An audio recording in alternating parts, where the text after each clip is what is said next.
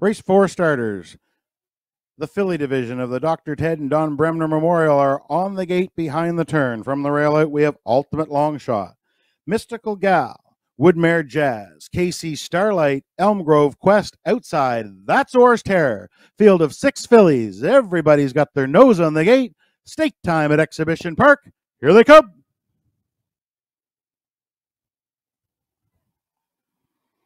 There they go, off and pacing center of the gate. Woodmere Jazz fires out of there for tour inside. That's ultimate long shot into the first turn. Ultimate long shot inside has command of the racetrack. Woodmere Jazz on the outsides looking for the front. She now eyes that two hole. Mystical Gal is away in third. Then Casey Starlight found a seat in fourth.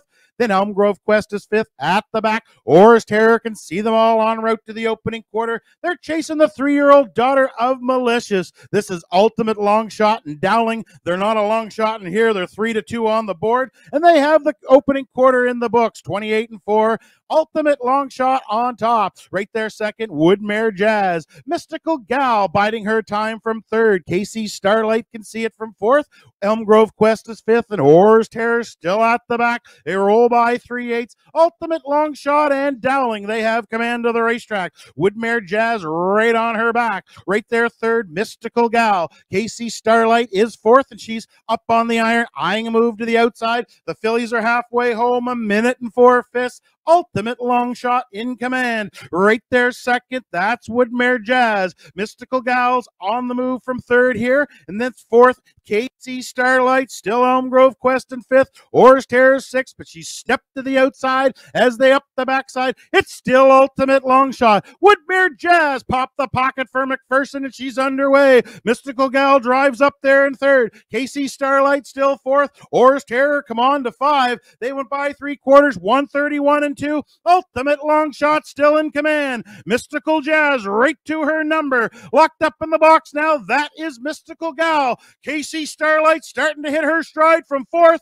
These four will settle at top of the stretch. Ultimate long shot clings to the lead. Outside here comes Woodmere Jazz. Far outside, Casey Starlight's on the scene. Up the rail comes Mystical Gal. Down the stretch, ultimate long shot. Up the inside, Mystical Gal. Photo at the line. I'm calling ultimate long shot by a nose. Second, Mystical Gal. Third, Alt Woodmere Jazz. Time for that mile. Two minutes flat.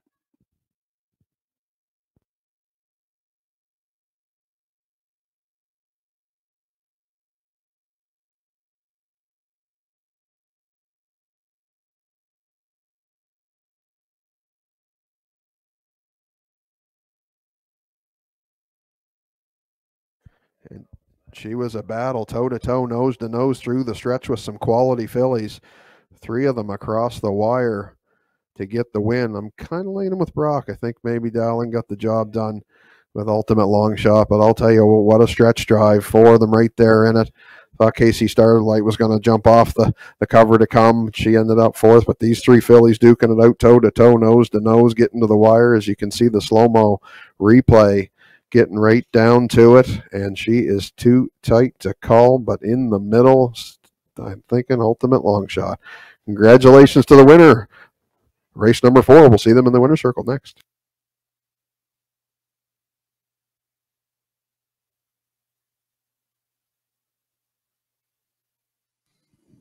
In the photo, it was the one ultimate long shot, getting the job done narrowly over the two Mystical Gal and Woodmare Jazz right there third. There will be a place photo on your monitors here shortly showing you those top three finishers, but at the line, it was as easy as one, two, three.